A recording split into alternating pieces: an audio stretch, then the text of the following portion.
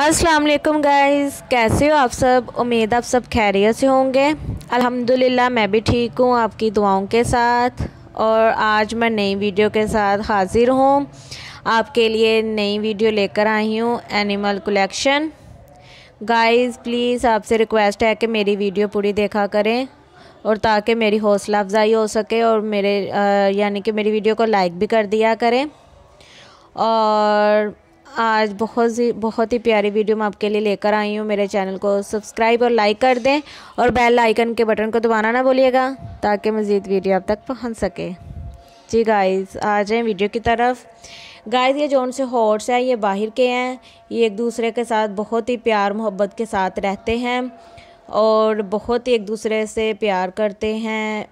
ये झगड़ते नहीं हैं, लेकिन ये इनमें प्यार बहुत ज़्यादा ये आप देख सकते हैं, अंदाज़ा लगा सकते हैं इस वीडियो में कि वाकई इनके आपस में ये बहुत ज़्यादा प्यार करते हैं। और ये गाइस बर्ड्स देखें, ये कितना प्यारा है।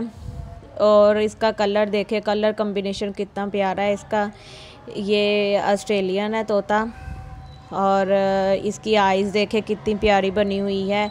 ये बहुत ही ज़्यादा यानी कि वफ़ादार होते हैं, अगर कोई इसके साथ अच्छी वफा करने वाला हो तो। और ये वाली फ़िश बहुत ही इंतहाई समझदार होती हैं और ये हर बात इंसान की समझती हैं। और जब आप इनके पास खड़े हों तो अल्लाह का विरद कर रहे हों तो ये सब फ़िश इकट्ठी हो जाती है अल्लाह का विरद सुनने के लिए। तो ये बहुत ही इंतहाई समझदार होती हैं।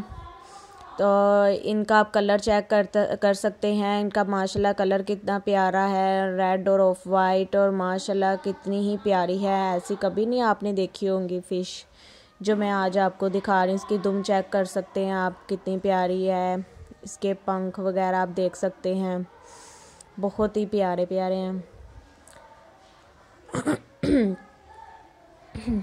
और ये हॉर्स के बाल देखे कितने लंबे लंबे से इसको कंगी की जा रही है और ये इनकी कंगी होती है, इनको की जाती है और ताकि वो अच्छे लग सके।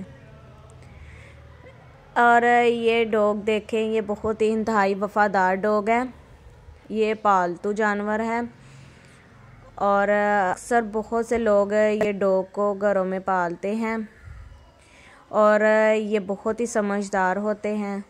ये आप देख सकते हैं किस तरह इसको मूव किया जा रहा है। ये टॉय है। इसको आगे पीछे किया जा रहा है और ये देखे डॉग भी उधर उधर देख रहा है। ये बहुत ही समझदार होते हैं, बहुत ही वफादार होते हैं। ये अपनी जान कुर्बान कर कर देते हैं इंसानों पर। ज़्यादा इंसान वफ़ादार नहीं होते जितने ये जानवर वफ़ादार होते हैं। ये ज़िंदगी मौत का ख्याल नहीं करते। और ये जान कुर्बान करने वाले होते हैं। हमें चाहिए कि जानवरों की तरह ये जिस तरह ये वफा करते हैं, इंसान को भी चाहिए इस तरह वो भी इंसानों के साथ वफा करे और प्यार, मोहब्बत इतफाक़ से रहे। ये ब्लैक और वाइट सोर्स देखिए कितना प्यारा है, ये बाहर का है। ये पप्पी चेक करे, ये बहुत ज़्यादा तंग करता है इस बाई को। खेलता भी बहुत ज़्यादा है, बहुत ही प्यार करता है, बहुत ही ये भाई इसके लाड उठाता है। जी गाइस आज की वीडियो फ़िलहाल इतनी ही।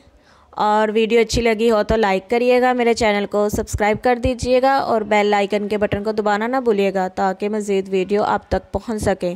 दुआओं में याद रखिएगा, अल्लाह हाफिज़।